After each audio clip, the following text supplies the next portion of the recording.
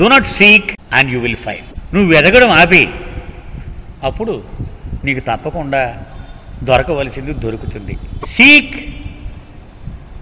and you shall find has become such a common place that spiritual aspirants have begun to wonder what it means to them I say do not seek and you will find పూర్వం నుంచి ప్రపంచంలో ఒక నానుడి ప్రచారంలో ఉంది. అదేమిటి? నీకు సత్యం అనే వస్తువు కావాలా? అయితే వెతుకు. వెతుకు బాగా. కానీ వాళ్ళకి నేనేం చెప్తానో తెలుసా? నువ్వు వెతకడం అయిపోయి do not seek material pleasure and you will find the spiritual treasure దాని అర్థం బాబా చెప్తూ ఉన్నారు. ప్రాపంచికమైన సుఖాన్ని కోరుకోవడం మానే. అప్పుడు దివ్య పెన్నిధి నీకు దొరుకుతుంది. This means seek only God by not seeking material pleasures and you will find God ప్రాపంచిక సౌఖ్యమును పక్కన పెట్టి భగవంతుడే నాకు కావాలి అని గనక నీవు వెతకినట్లయితే అప్పుడు భగవంతుడు నీకు తప్పకుండా దొరుకుతాడు. You can only seek God through self denial ఇది భయంకరమైన పరిస్థితి. భగవంతుణ్ణి పొందాలి అంటే మొట్టమొదటి లక్షణం ఏమిటట? నేను పనికి మాలిన వాడిని. అని తెలుసుకోవడం మొట్టమొదటి స్టెప్ అటది అవి లేని గొప్పవాడిని అనుకుంటే అసలు మనం ఇంకా పొలిమేరలో కూడా వెళ్ళలేదు అని అర్థం. ముందు నేను కొరగాని వాడిని ఎందుకు? విలువలేని వాడిని అని నన్ను నేను తీసి పక్కన పడేసుకోవాలి. సెల్ఫ్ డెనయల్ అంటే నేను గొప్పవాడిని అని అనుకుంటూ ఉన్నంతసేపు నీకు ఫస్ట్ స్టెప్ కూడా వెయ్యలేదు నీవు. అది లెక్క. ఇది చాలా ప్రధానమైనటువంటిదండి బాబా దైన్లో. ఎప్పుడూ బాబు కల్చరే చెప్తూ ఉండేవారు. బాబు ఏమనేవారంటే we are playing a losing game if you lose we gain మనం ఎంత ఓడిపోతే అంటే మనల్ని మనం ఎంత తగ్గించుకుంటూ పోతే అంత లాభపడతాం మనం బాబా యొక్క ఆట. నేను కొరగాని వాడిని అనుకుంటేనే మనం వెళ్ళగలం. The spiritual treasure cannot be obtained by merely stretching out your hand for it. Baba అంటున్నారు నువ్వు పొడుగు ఎంత పొడుగు చేయి చాపేస్తే అంత ముందుగా నీకు ఆధ్యాత్మిక ఐశ్వర్యాన్ని ఎవడు భగవంతుడు. ఈ చెయ్యి ఎంత పొడుగు చాపేవనేది అది ప్రమాణమే కాదు. Only in the completeness of self denial can the spiritual treasure become self evident నిన్ని నీవు ఎంత డిస్కౌంట్ చేసేసుకుంటే అంత ఎక్కువగా ఆధ్యాత్మిక ఐశ్వర్యం నీకు దక్కుతుంది. అదే ఎప్పుడు చెప్తూ ఉంటాను నేను ఒక అమెరికన్ బాబా ప్రేమికుడు. లవ్ స్ట్రీట్ ల్యాంప్ పోస్ట్ అనే జర్నల్లో రాసుకున్నాడు. My Lord the more I love you the more I realize how unworthy I to love you. నిన్ను మరింతగా మరింతగా ప్రేమించే కొలది ఒక సత్యం నాకు బోధపడుతోంది. అదేమిటంటే నిన్ను ప్రేమించడానికి ఎంతటి అనర్హుడినో రోజు రోజుకి ఎక్కువగా నాకు అర్థమవుతుంది. అంటే ఆయన వైపు అడుగులు వేసే కొలది మనము ఎంత అర్హత లేని వాళ్ళమో ఎక్కువగా తెలిసిపోతూ ఉంటుంది. మనం చాలా ఎక్కువే చెప్ ఒక లైట్ హౌస్ ఉంది ఎక్కడో ఉంది. దూరం నుంచి ఇంత లైట్ పడుతోంది. నేను బయటికి వెళ్ళాలి. లేచి మంచం మీద చాలా చొక్కాతోటి లేచాను. బాగానే ఉంది వెళ్ళిపోదాం బయటికి అనుకుంటున్నాను ఆ లైట్కి వేసి వెళుతున్నాను నేను. దాని దగ్గరికి వచ్చే కొలిది లైట్ ఎక్కువ పడుతూ ఉంటుంది నా మీద. చూసుకున్నాను చొక్కా నలిగిపోయింది బొత్తాలు లేవు తల చెరిగిపోయింది చండాలంగా ఉన్నాను నేను. ఇప్పుడు దాకా బాగున్నానని అనుకున్నాను కానీ ఆ ప్రకాశం ఎక్కువగా పడుతూ ఉంటే చూసుకుంటే నా మీద నాకు రోత పుట్టింది. అంటే నిజముగా గనక మనము సత్యముకు దగ్గరగా వెళుతూ ఉంటే మన అసలు పరిస్థితి మనకు బోధపడి ఇచ్చి ఇచ్చి నాకు అర్హత ఉన్నదా అసలు తండ్రి దగ్గరికి వెళ్ళడానికి అనేటువంటి ఆ ఆలోచన దొలి చేస్తూ ఉంటుంది. కానీ నేను చాలా గొప్పవాడిని అనేటువంటి ఆలోచన ఉన్నది అంటే చాలా దూరంగా ఉన్నాం అనమాట మనం. ఆ మిడుకు మిడికి మన వెలుగులో ఏ బ్రహ్మాండంగా ఉన్నాం అని నేను సో తనను చూసి తను మురిచిపోయేవాడు ఎప్పుడూ కూడా చాలా దూరములో ఉన్నవాడే. దగ్గరగా ఉన్నవాడు వాడు కనపడుతూ ఉంటుంది తన పరిస్థితి ఉంటుంది అంచేత ఎప్పుడు విర్రవేగడు. There are three ways of obtaining the spiritual treasure. Baba ఒక రహస్యాన్ని వెల్లడి చేస్తూ ఉన్నారు. ఆధ్యాత్మిక ఐశ్వర్యం ఆ పెన్నిది.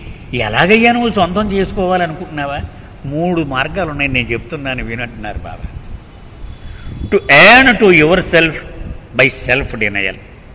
మొట్టమొదటి నిన్ను నీవు తీసిపారేసుకో ఖాతరు చేయి. ఒక ఉదంతం. పెంపలగాం అనే గ్రామం ఉంది మెహరాజాద్. అసలు ఒరిజినల్గా పెంపలగాము గ్రామానికి అంటే మెహరాజాద్ ఆ కొండ పక్కన కొంచెం ఒక రెండు కిలోమీటర్లు వెళితే వస్తుంది ఆ గ్రామం పెంపలగాం. దాన్ని ఆనుకుని ఇప్పుడు మెహరాజాద్. ఆ గ్రామం వాళ్ళు కుష్ఠరోగులకు ఇది ఒక సేవా కార్యక్రమాన్ని పెట్టి అప్పుడు ఉన్న మండలి సభ్యుడు అలోబా అలోబా అని పిలిచారు. అంటే బాబా శరీరం వదిలేసిన తర్వాతే జరిగింది. పిలిచారు ఇతన్ని. వెళ్ళాడు అక్కడికి. ఓ స్టేజ్ వేసారు స్టేజ్ మీద నాలుగు కుర్చీలు వేసారు ఓ టేబుల్ వేసారు. మధ్య కుర్చీలో బాబా ఫోటో పెట్టారు. వేదిక మీదకి అనౌన్స్ చేసాడు ఆర్గనైజర్. ఆ అలోబా గారిని బాబా మండలి సభ్యుడు ఆయన్ని వేదిక మీదకి వచ్చి ఉచితాసనం స్వీకరించవలసిందిగా ఆహ్వానిస్తున్నాను. మన మామూలుగా అంటాం కదా. అన్నాడు. వచ్చాడు అతను. చూసాడు చూసాడు కుర్చీ చూసాడు బాబా ఫోటో చూసి కింద కూర్చున్నాడు. కింద కూర్చున్నాడు. ఆ వేదిక మీద కూర్చున్నాడు. అబ్బాయి అలా కదండి మీరు ఇక్కడ కూర్చోండి. ప్రభువుకి ఏ స్థానం ఇచ్చామో ఆ లెవెల్లో కూర్చోవడానికి మాకు అర్హత లేదు. కింద కూర్చో అందుకని ఇక్కడే కూర్చుంటారు మీరు ఆ లెవెల్లో ఆయన కూర్చి వేసారు కాబట్టి ఈ లెవెల్లో నేను కూర్చుంటాను అంటే వాళ్ళకి ఆయన ఇచ్చిన ట్రైనింగ్ అదనమాట. వాళ్ళు నర నరాన జీర్ణించుకుపోయింది. వాళ్ళని వాళ్ళు తగ్గించుకోవడమే. ఎప్పుడూ వాళ్ళ అలవాటు అది. ఇప్పుడు ఇరిచి కూడా ఆయన చూడడానికి వెళ్తే ఎంతో బాధపడేవాడు. తండ్రి దగ్గరికి మీరు వచ్చారు. పుట్టింటికి పండక్కి వచ్చిన బిడ్డల్ని తల్లి ఎంతగా హక్కును చేర్చుకుంటుంది వాళ్ళకి ఏమేమి పెట్టాలి ఏమేమి చేయాలి అన్నీ మీరు అది వదిలేసి ఇంకోటి చూడడానికి వెళ్ళిపోతే ఎంత నొచ్చుకుంటుంది తల్లి? ఎవడు ఇరిచ్ అంటే? Garbage can. ఒక చెత్తబుట్ట వీడి. వీడిని చూడడానికి మీరు ఆయన్ని వదిలేసి వచ్చేయడం ఎంత దౌర్భాగ్యం అది వద్దు. ఆయన దగ్గరే ఉండండి అక్కడ మీరు అని చెప్పేవాడు ఇరిచ్ అంటే ఆ సెల్ఫ్ డినయల్లో మాస్టర్స్ వాళ్ళందరూ కూడా మండలి వాళ్ళు. ఎప్పుడు మేము గొప్పవాళ్ళమని కానీ మేము అబ్బో యాభై ఏళ్ళు మేము ఉన్నదని ఎప్పుడు అందరు వాళ్ళ నీవెంతో? మేము అంతే. ఇలాగే అంటూ ఉంటారు వాళ్ళు. అది బాబా చెప్తున్నారు నిన్ను నీవు తగ్గించుకోవడం ద్వారా నిన్ను నీవు డిస్కౌంట్ చేసేసుకోవడం ద్వారా ఆధ్యాత్మిక ఐశ్వర్యాన్ని అందుకోగలవు. లేక రెండవది చెప్తున్నారు. To receive it as a spontaneous gift from God given to his lover whose self has become ఈ in the intensity of his longing for his beloved ఎంత అందంగా చెప్పారో చూడండి. బాబా అంటున్నారు తన దివ్య ప్రియతముడైన భగవంతుడి మీద ఆ ప్రేమలోంచి పుట్టినటువంటి విరహాగ్నిలో తనను తాను పూర్తిగా దహించి వేసుకున్న అదృష్టవంతుడైన ప్రేమికుడికి పటుపొర అని భిక్షగా భగవంతుడు ఇస్తే ఆ ఆధ్యాత్మిక ఐశ్వర్యం వాడికి దక్కుతుంది. ఇది రెండవది. అంటే చూడండి ఆ భగవంతుడి మీద వీడికి ఉన్న విరహాగ్నిలో వాడిని వాడు మసి చేసేసుకున్నట్టు వాడు పూర్తిగా. మూడవది. To inherit it directly from the perfect master who bequeaths it to those who remain completely resign to his will ఒక సద్గురువు కానీ ఒక అవతార పురుషుడికి కానీ నూటికి నూరు పాళ్ళు ఆయనకు ఇచ్చకు బద్ధుడై జీవితాన్ని ఎవరైతే గడిపారో తన వారసుడిగా వారసత్వంగా ఆ దివ్య పెన్నిధి అనే ఆస్తిని వీళ్ళకి ఇచ్చేసి వెళతాట ఆయన. అది మూడవది అన్నారు. అంటే మండలి వాళ్ళకి అన్నమాట అది. రెండవది ప్రేమికుడికి చెందినది. మూడు మండలికి చెందినది. డేర్ ఫోర్ కాబట్టి if you wish to find the treasure stop seeking material pleasure నీకు ఆధ్యాత్మిక ఐశ్వర్యం కావాలి. ప్రాపంచిక సుఖాలని వెతకడం మాని. మీరు ఇరిచి రూము మీరు అదృష్టవంతులు ఇప్పుడు బాబాలో కొత్తగా రావడం. ఎందుకంటే ఇప్పుడు మీరు మాకు తెలిసిన విషయాలన్నిటితోటి మీరు స్టార్టింగ్ చేయొచ్చు. మేము ఎన్నో ఏళ్ళ తర్వాత తెలుసుకున్నాం ఇవన్నీ.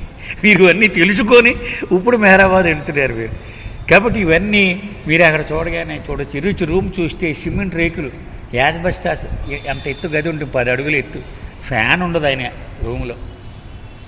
ఒక మంచం ఉంటుంది ఒక తలగడ ఉంటుంది అంతే ఒక కుర్చీ ఉంటుంది అంతే ఉంటాయి. ఒకటే గది. మరీ ఎండ భరించలేనంత ఉంటే మంచం కిందకు దూరి చాప వేసుకుని పడుకునేవాడు ఆయన.